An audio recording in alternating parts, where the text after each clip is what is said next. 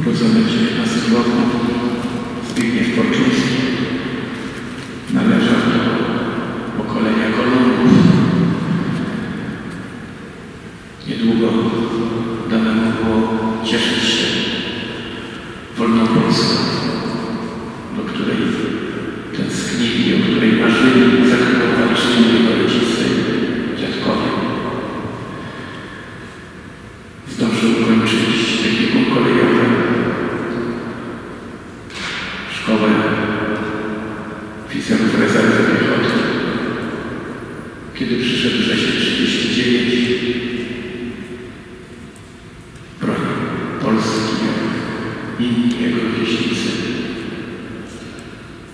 Dostał się do niemieckiej niewoli z wieku.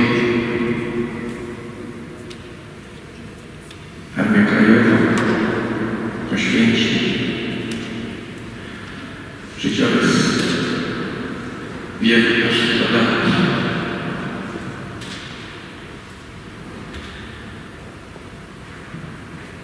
Studia chemii, które ukończył i zdolności, które Pan dał sprawiły,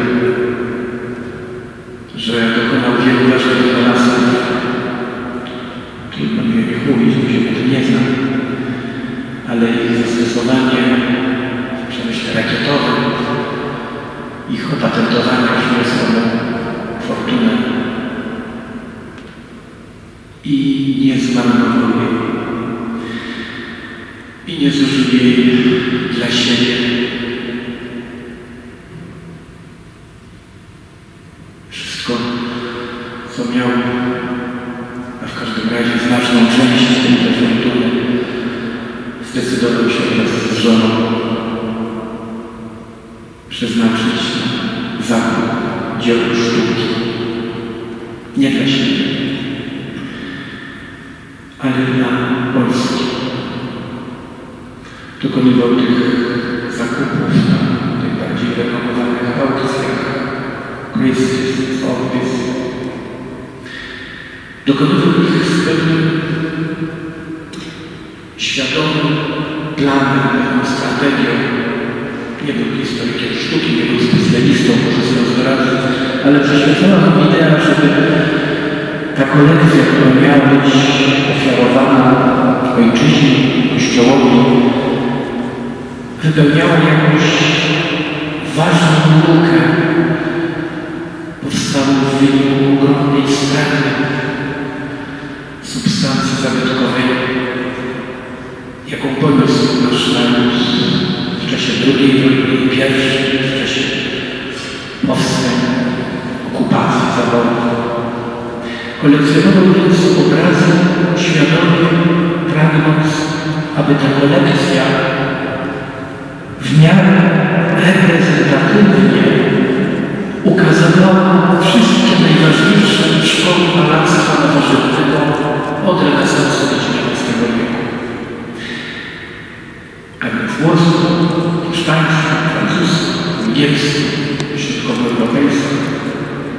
Ale nie tylko to. Miał jeszcze jeden zamysł i to świadczy o oryginalności ciekawy sposób jego myślenia. A mianowicie, aby kupować te obrazy nie tylko pod kątem czysto artystycznej proweniencji, ale również pod kątem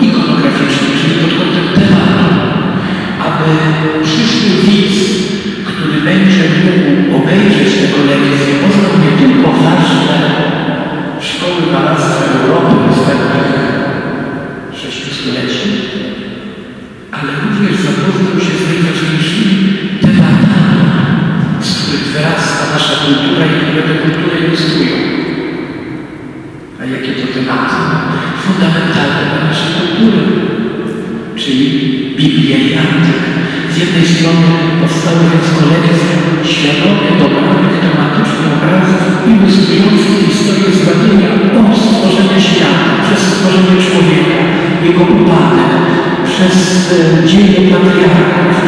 dzieje Izraela, aż do tego momentu, który jest centrum dziejów świata i kosmosu, centrum wszechdziejów, w stosunku do którego wszystko jest przed lub po Jezusa Chrystusa, Jego poczęcia z Marii Panny i z Ducha Świętego, Jego narodzenia, Jego dzieciństwa, Jego nauczania, Jego cudów, Jego męki, śmierci zmartwychwstania.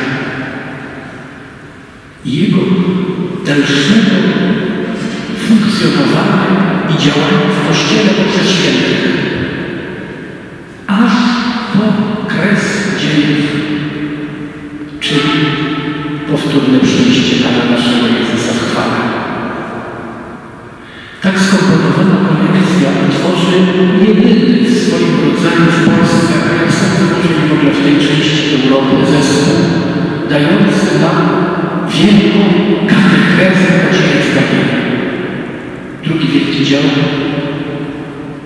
to antyk, to mitologia. I alegoria. W tej kolekcji możemy prześledzić wszystkie najważniejsze motywy ikonograficzne związane z wiarą starożytnych Greków i które tworzyły krwiopodiek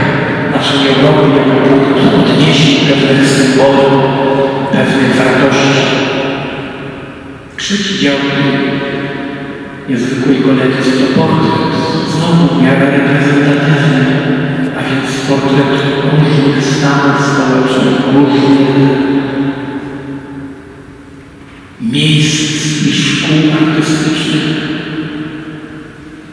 Ciekawe, że w ramach tej kolekcji wyodrębnił jeszcze jeden wątek właściwie niespotykany w kolekcjach Europy. Ale to też świadczy o pewnym, aksjologii Zbigniewa Płaczyńskiego. A mianowicie jest to grupa obrazów pod tytułem Matka i Dziecko. Temat stary człowiek. Ale może dzisiaj szczególnie, kiedy, kiedy macierzyństwo, kiedy, kiedy rodzina jest bardzo zagrożona, powiedziałbym wręcz profetycznie. No i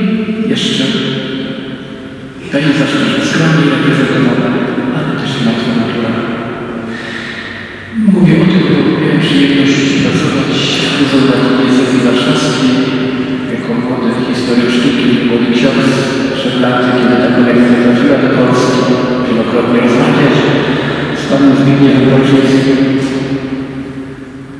Przez dwa lata poznać te wszystkie obrazy. Oczywiście to jest początek. Kolekcja stoi przed wielkimi wyzwaniami. Nie mogę jeszcze teraz zdradzić tych kroków, które zostały podjęte, ale mam nadzieję, że sam ksiądz będzie mógł głosić dobrą dla kolekcji nowinę. Może nawet w tym roku jeszcze. Módlmy się, żeby, żeby ta wielka kolekcja znalazła dobre rozwiązanie prawne, administracyjne, finansowe, żeby mogła być wreszcie solidnie zbadana naukowo. Opieramy się na badaniach wyrywkowych. Wiadomo, że tam są kopie, ale też wiadomo, że są bezsprzeczne, autentyczne dzieła wielkiej klasy. Van Gogh jeździ do Japonii. Nie ma co. Wydaje się, że ta kolekcja wciąż za mało funkcjonuje w naszej świadomości. Miejmy nadzieję, że to się zmieni. O to się też módlmy. Tyle o niej mówię, ponieważ właściwie życie Zbigniewa Kołczyńskiego z punktu widzenia narodu i Kościoła w Polsce będzie zawsze kojarzone z tą kolekcją. To było jego dziecko, to było no, teraz z punktu już pewnego dystansu, perspektywy jego śmierci, możemy powiedzieć, to było dzieło jego życia. Nie zmarnował tego życia. Ewangelia, którą usłyszeliśmy przed chwilą, przez przypadek została wybrana właśnie na to przeświadczenie. Jezus mówi do swoich słuchaczy, szczęśliwy oczy wasze, że widzą to, co wy widzicie. A co widzą oczy słuchaczy? Widzą to, a może raczej widzą tego, tęskniły całe pokolenie Izraela, do którego wołały w psalmach,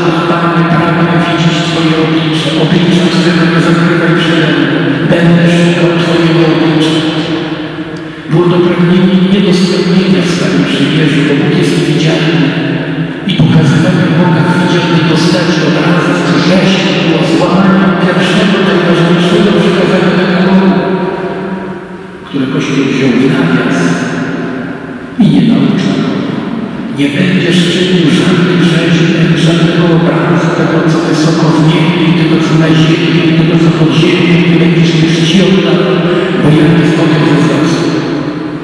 Żydzi tego przestrzegają, do dziś dzień w synagodze nie znajdziemy żadnych obrazów Boga, ponieważ malować Boga oznaczałoby Jego karykaturę, Jego pomniejszenie, Jego uniżenie,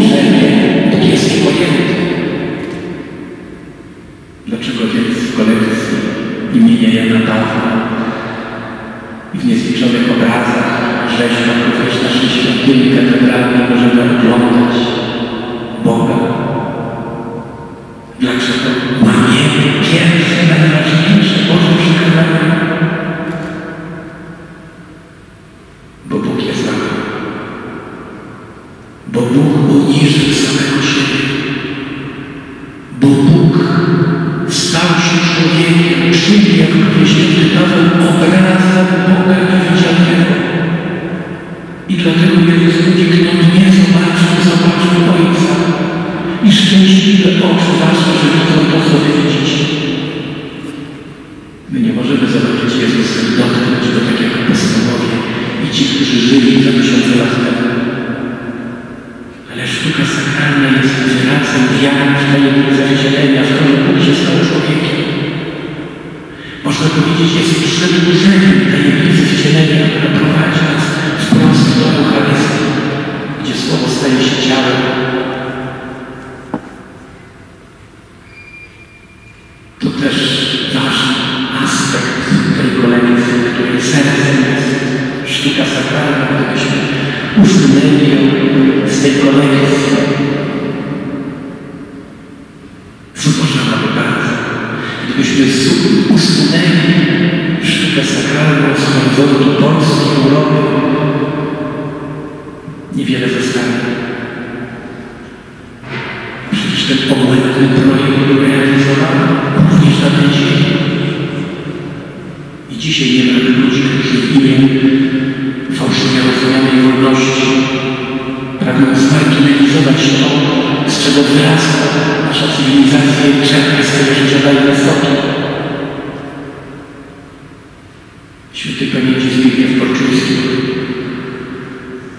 Świadomy i temu swoje życie poświęci. Módlmy się, żeby ten, który przez całe życie gromadził obrazy, szczególnie obrazy Jezusa,